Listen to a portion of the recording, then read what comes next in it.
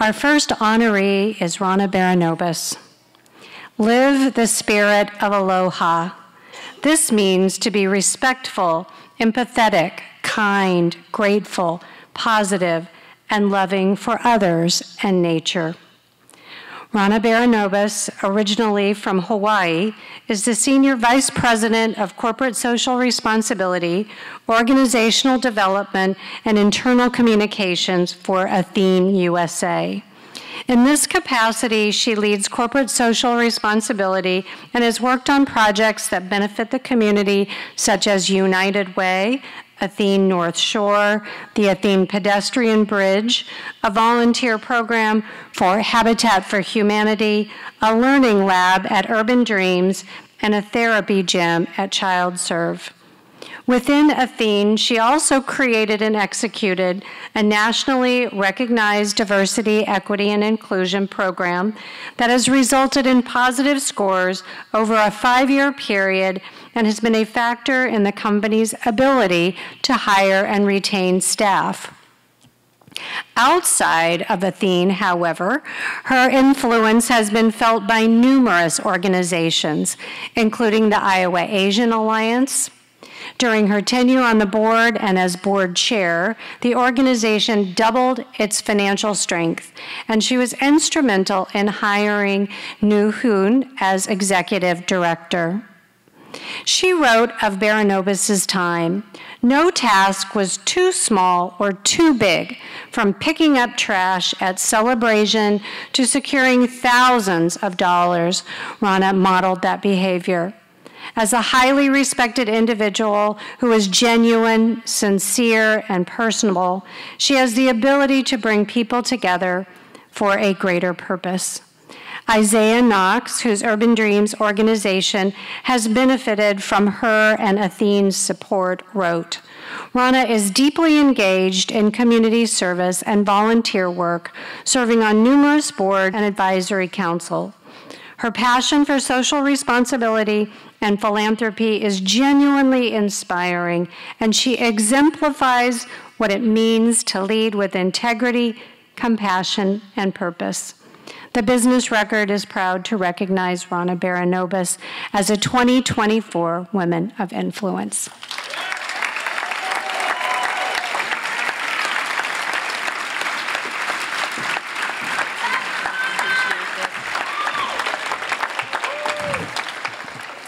Thank you. Thank you.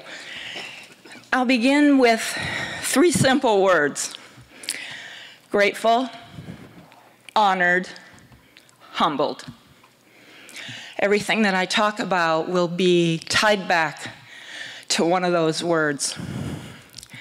I want to begin by thanking Connie Wimer, Susanna, Chris, and the entire business publication team for the work that they do in this community.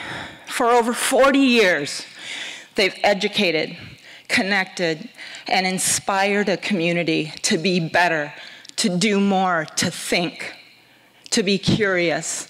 And I'm honored that you all decided that I'm worthy of this award. My fellow honorees, those of you that are here this evening, it was, it's been great to get to know you and to meet you. I'm proud to be part of this prestigious group of women. And to those that came before us, thank you, thank you, thank you. You've blazed the trail. You've helped to set the standard for what all of us should aspire to. I want to thank Alicia Holker, a 40 under 40 honoree this past cycle, and a filmmaker She's the amazing young woman that nominated me for this recognition. It's a privilege to be considered one of her mentors, and she humbled me with this gesture. She pulled together an impressive group of supporters to reinforce the nomination, to include, now get ready, Jackie Easley, Dr. Mary Chapman, Hannah Inman, Nu Nguyen, Bo and Laura James, Jay Byers, John Forsyth, and Senator Izaah Knox. I, yeah. pretty powerful group. I consider this group my part of my personal board of directors.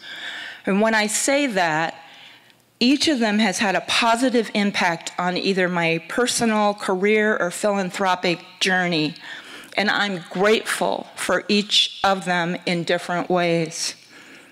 I want to thank Athene and my Athene colleagues who are here this evening. I am proud to work for a company so committed to community, and I want to thank each and every one of my colleagues for being here this evening to help support me. Thank you. My Ohana. At the core of who I am is my family. Mahalo to my rock and love of my life, my husband Tony.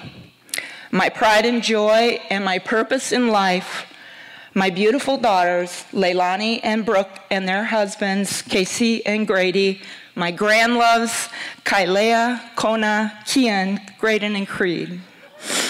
Our beginnings set the foundation and shape who we become. And I'm no exception. As I began the start of this with grateful, honored, and humbled, all of these words apply to the pride I have in being the daughter of Clifford and Sally Baranobis, who are both here, traveled here this evening to be with me. Not only are they my parents, but I also have seven other siblings, and I love each and every one of them. When I think of my number one woman of influence, that would be my mom. My mom is the strongest woman I know and a community leader in so many roles that she served. For example, she served on the city council, she's been a leader in our church, she's organized little leagues, and she's a social activist. She's gonna be busy. My dad is my biggest advocate. In my dad's eyes, I can do no wrong. I am daddy's little girl. He also advocated for my mom back in a time when it may not have been so popular to do all of the cool things that she did in the 60s and 70s, and he always was there to support and uplift women. I will say that my, my parents allowed me to do everything that I needed to do to pursue my dreams and to support my dreams, and I love you both with all of my heart. When I think about inspiring and looking at the next generation of women influencers, I've heard some of the quotes that I was going to share, so I won't repeat those. But what is important to me is that it truly starts with us. Each and every one of us have to be the change that we do want to see, but we have to be intentional about making that difference. So as I close, I want to once again say that I am grateful, I am honored, and I am humbled. Mahalo.